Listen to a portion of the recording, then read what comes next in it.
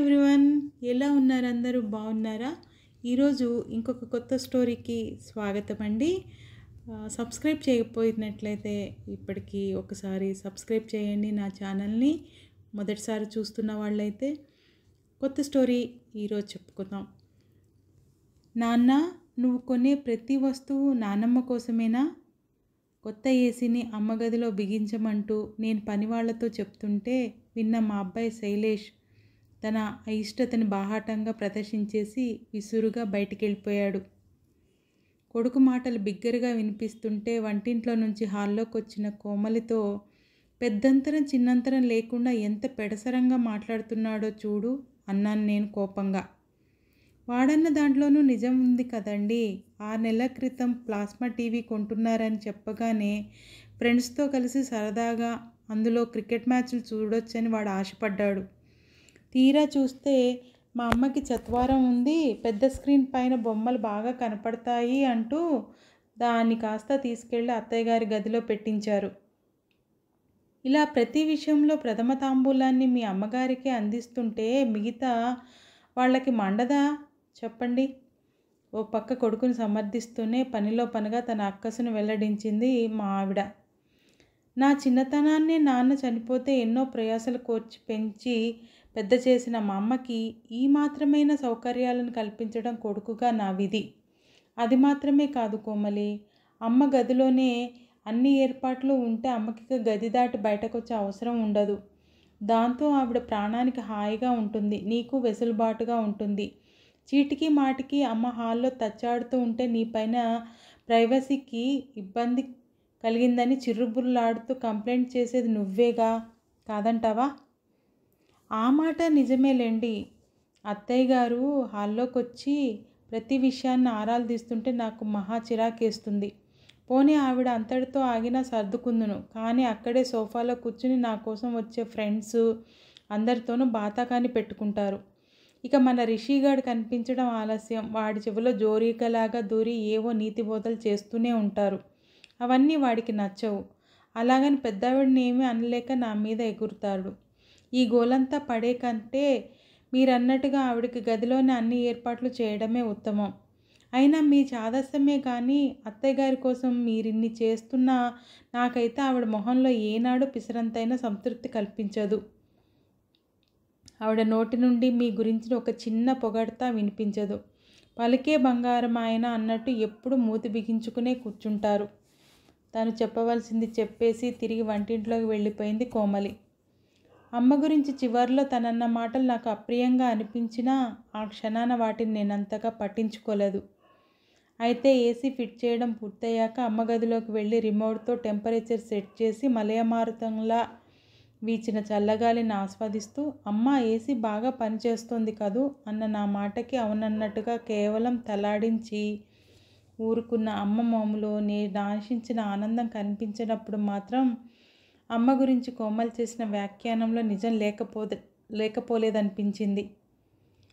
ఆ తర్వాత మాట్లాడేందుకు ఇంకా ఏమీ లేదన్నట్టుగా నిర్లిప్తంగా టేబుల్ పైన ఉన్న భగవద్గీతను అందుకుంటున్న అమ్మతో సంభాషణను పొడిగించడం ఇబ్బందిగా తోచి అక్కడి నుంచి బయటకు వచ్చేసి హాల్లో సోఫాలో కూర్చున్నాను.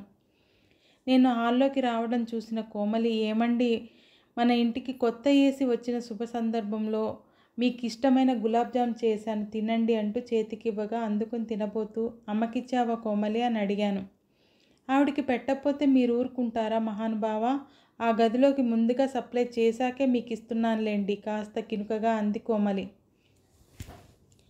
ఏ మాట కామాటే చెప్పాలి? అప్పుడప్పుడు కోమలి నాపైన అమ్మమైన చెణుకులను విసురుతుందే కానీ అమ్మకి ఏ విషయంలోనూ లోటు రానియదు అందుకే తనపైన అమితమైన ప్రేమ పొంగుకురాగా శిల్పారామం చూడాలని ఎప్పటి నుండో అడుగుతున్నావుగా త్వరగా తయారై రా. వెళ్ళి వద్దాం అనగానే కోమల మొహం వెయ్యి వాట్ల బల్బులా వెలిగిపోయింది. ఇదిగో ఇప్పుడే చిటికలో వచ్చేస్తాను అంటూనే నా బుగ్గపైన గట్టిగా ముద్దు పెట్టేసి బెడ్రూమ్లోకి పరిగెత్తింది. తనంతే అల్పసంతోషి. చిన్న చిన్న వాటికే సంబరపడిపోతుంది. ఆ ఆనందాన్ని అప్పటికప్పుడే ఇలా ఏదో ఒక చర్య ద్వారా ప్రదర్శించేసి నా మనసును దోచుకుంటుంది. అమ్మ కూడా ఎప్పుడు అలా మౌనంగా ఏదో కోల్పోయిన దానిలా నిర్వేదంగా ఉండకపోతే అప్పుడప్పుడైనా కోమలిలాగా చక్కగా తన సంతోషాన్ని మాటల్లోనో చేతల్లోనో వ్యక్తం చేస్తే బాగుండను కదా? శిల్పారంభంలో చూడవలసినవన్నీ చూసేసి ఇంటికి బయలుదేరుతుండగా హఠాత్తుగా వెనక నుండి నా భుజం మీద చేపడటంతో ఉలిక్కిపడి చూస్తే అక్కడ నా చిన్ననాటి స్నేహితుడు కనిపించాడు. ఒరే కిరీటి నువ్వేమిట్రా ఇక్కడ? అంటూ ఆనందంగా వాడిని కౌగిలించుకున్నాను. చెన్నై నుండి ట్రాన్స్ఫర్ మీద ఇక్కడికి వచ్చి రెండు నెలలైంది సాయి. ఆఫీస్ పనుల్లో బిజీగా ఉండడం వల్ల ఇంత దాకా నిన్ను కలవలేకపోయాను. వీలు చూసుకుని మీ ఇంటికి రావాలని అనుకుంటున్నాను.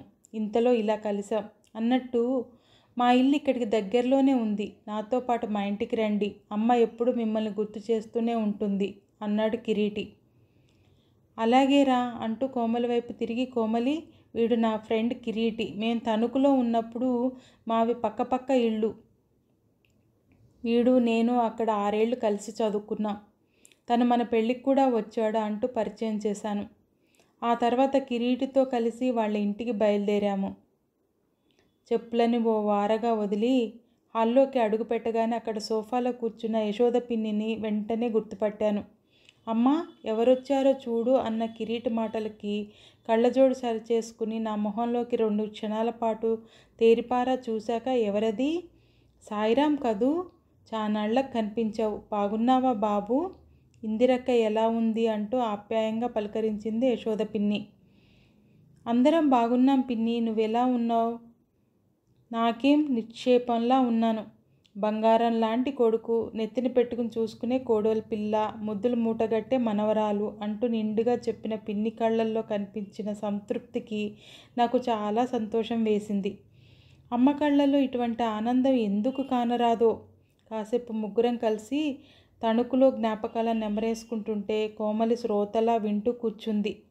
ఇంతలో సడన్గా ఏదో గుర్తుకురాగా ఏరా కిరీటి ఈవేళ శిల్పారామం మేనేజర్ని కలవాలన్నావుగా కలిసావా అన్న పిన్ని ప్రశ్నకి ఆ పని పూర్తి చేసుకుని తిరిగి వస్తుంటేనే అనుకోకుండా అక్కడ మన సాయి కనిపించాడమ్మా అని చెప్పాడు కిరీటి.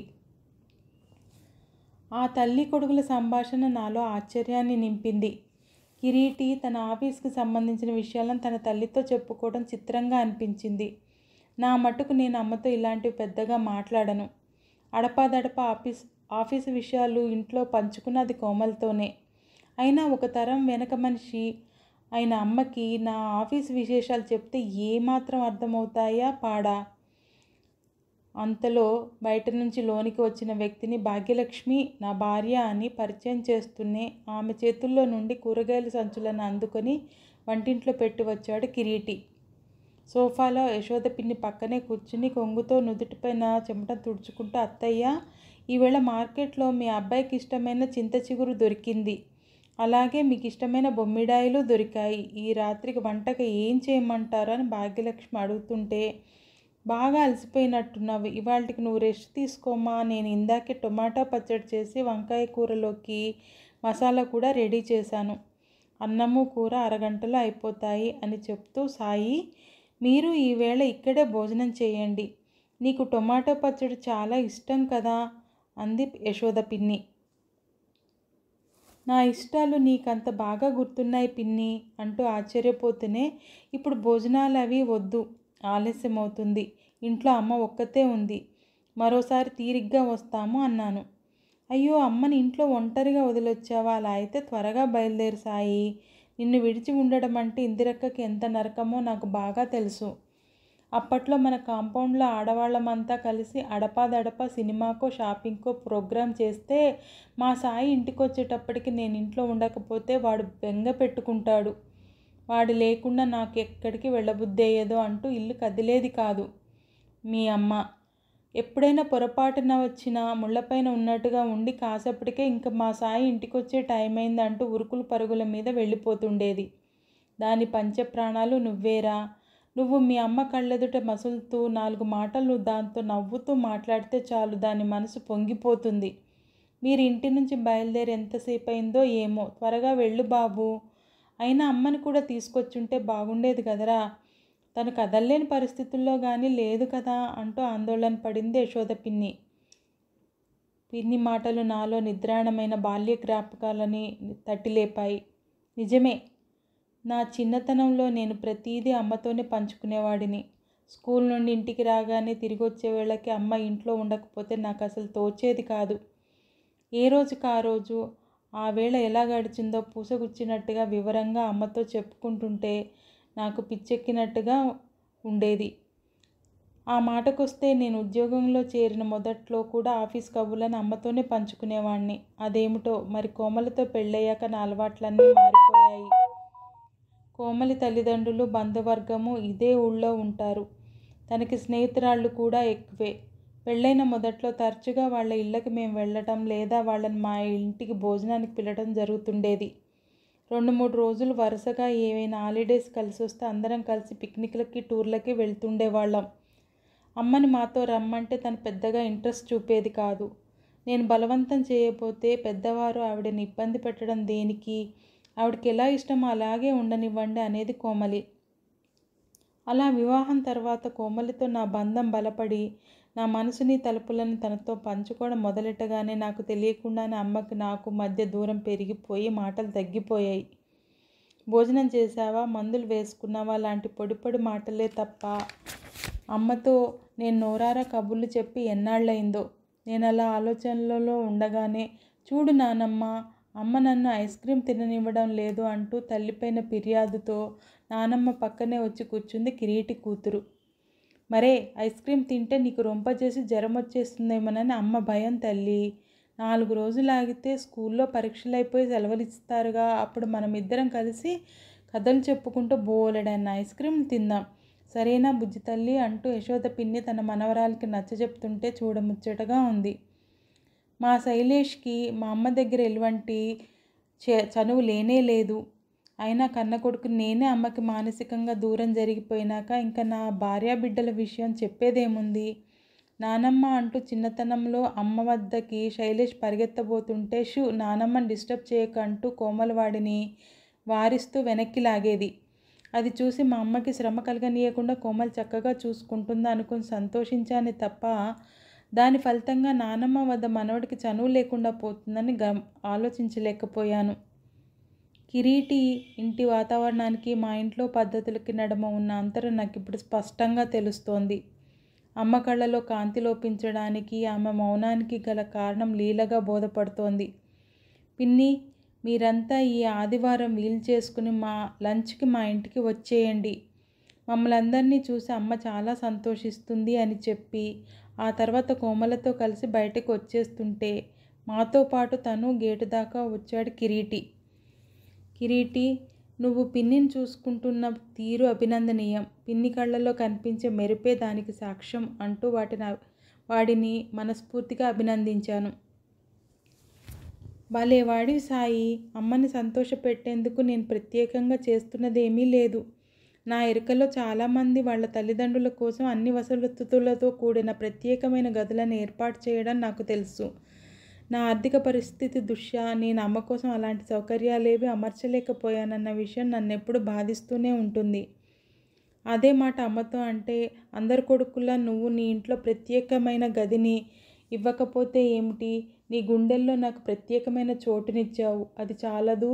ఈ అమ్మకి కృష్ణారామ అంటూ ఇంట్లో ఓ మూలను పడుండే ముసలమ్మతో మాటలేమిట్లే అనుకోకుండా ప్రతిరోజు వీలు చేసుకుని నా దగ్గర కూర్చుని నీ కష్టం సుఖం చెప్పుకుంటావు. నా సలహాలు అడుగుతావు. నేను నోరు తెరిచి చెప్పకుండానే నా అవసరాలు తెలుసుకుంటావు. అడ్డాలనాడు బిడ్డలు కానీ గడ్డాలనాడ అన్నట్టు కాకుండా ఇప్పటికీ చిన్ననాటి కిరీటిలాగే నాతో మసులుకుంటావు. ఏ తల్లికైనా ఇంతకంటే కావాల్సింది ఏముంటుందిరా అంటుంది అమ్మ. నిజమే కదా సాయి. ఇంట్లో పెద్దవాళ్ళ ఉనికిని గుర్తించి నోరారా పలకరిస్తే చాలు పొంగిపోతారు. అనుభవంతో వాళ్ళకు తోచిన సలహా ఇస్తారు. వాళ్ళ పెద్దరికానికి మనం పిసరంత గౌరవాన్ని ఇస్తే దాన్నే వాళ్ళు కొండంత పెన్నిదిగా భావిస్తారు.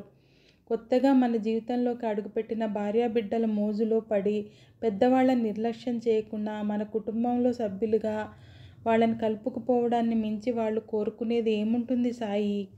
నా అదృష్టం కొద్దీ నా భార్యకి పెద్దల పట్ల గౌరవం ఉంది. అందుకే అమ్మతో కోడలిలా కాకుండా కూతుర్లా మసులుకుంటుంది. కిరీటి మాటలు నా మనసును చెల్లుమని తాకాయి. అమ్మ విషయంలో నేను చేస్తున్న అపరాధం ఏమిటో నాకు ఇప్పుడు పూర్తిగా అర్థమైంది. చిన్నతనం నుండి నన్ను వృద్ధిలోకి తీసుకురావడమే ధ్యేయంగా బ్రతికిన అమ్మకి నా ఇంట్లో సకల సదుపాయాలతో ఒక గదిని ఏర్పాటు చేయడంతోనే నా బాధ్యత పూర్తయిందని భావించడం ఎంత అవివేకం!